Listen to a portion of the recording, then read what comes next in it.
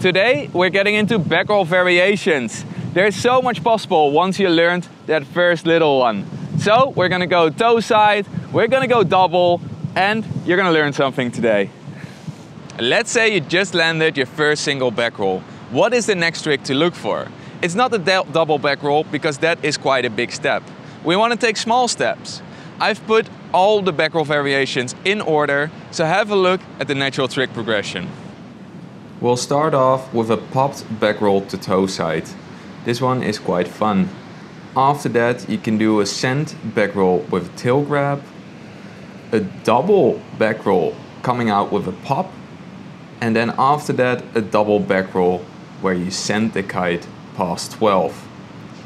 The toe side back roll is another fun one where you can first land heel side to keep it easy, and then we're gonna do a toe side back roll where you land toe side. You might have noticed that I added the word pop and send to the back roll variation list. And this all has to do with how you steer your kite. On a send back roll, you steer your kite past 12 and the kite will lift you up. Usually this gives you more airtime.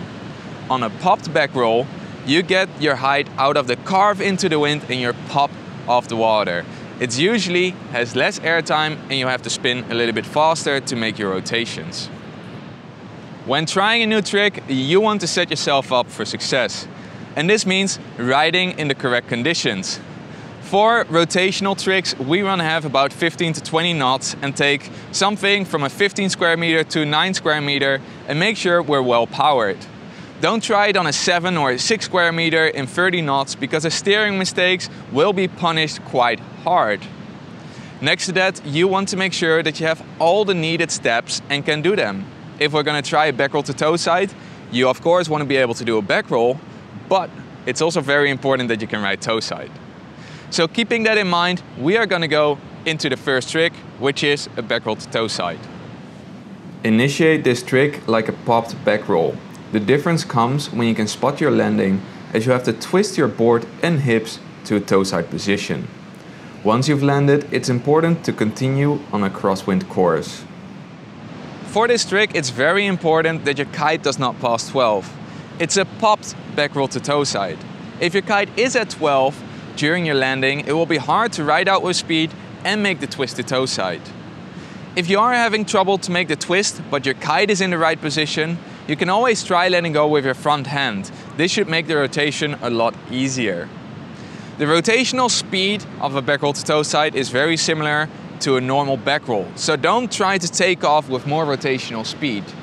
The last 180 degrees comes out of your hips and not out of your takeoff. Next up, we are going to look at a back roll with a tail grab. Start off with a send back roll where you steer your kite past 12 so it lifts you up. Just before you reach the apex of your jump, you let go of the backhand and grab the tail of the board.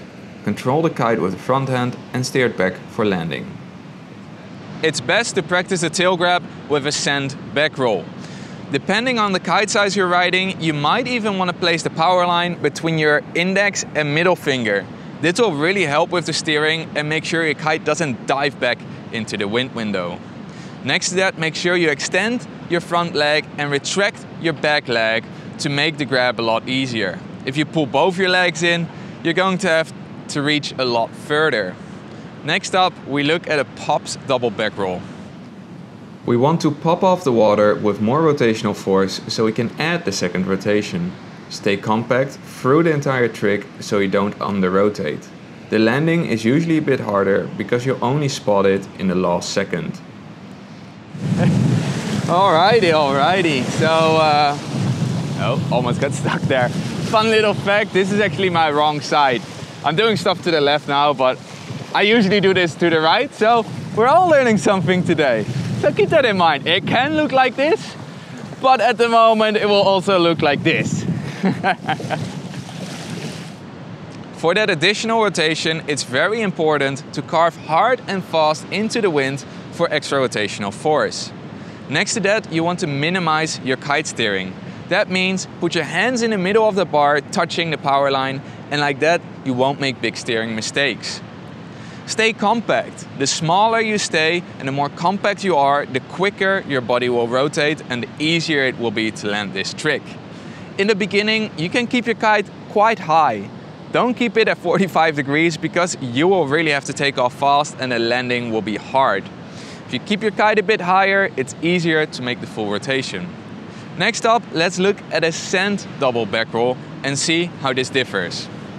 With this send version, there is way more time in the air and it's less important to take off with a lot of rotational force. Additionally, we'll rotate on a different axis that is more vertical so we can keep our legs extended.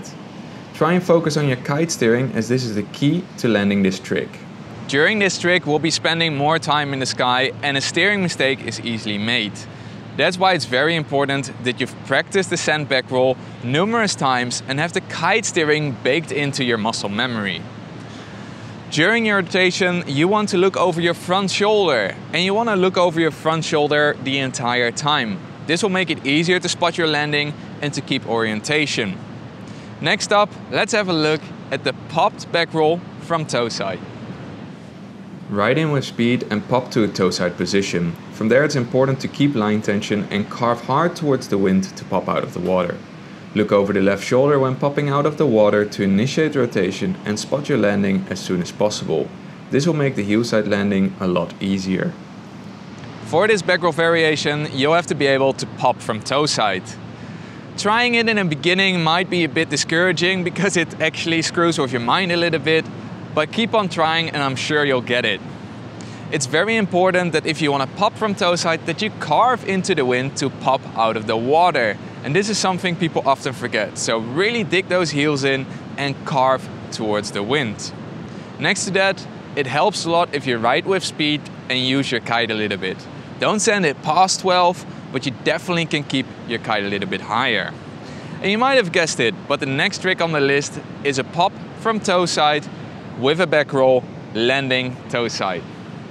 That didn't come out so nice. We now know the takeoff from the toe side back roll and the difference for this toe side landing only starts the moment we take off from the water. Try to keep your hips twisted during the rotation so you come out of it in a toe side position. Ride out on a crosswind course so you maintain speed. As we're already in a toe side position on the takeoff, try to keep your hips twisted for the entire rotation so you can land toe side again.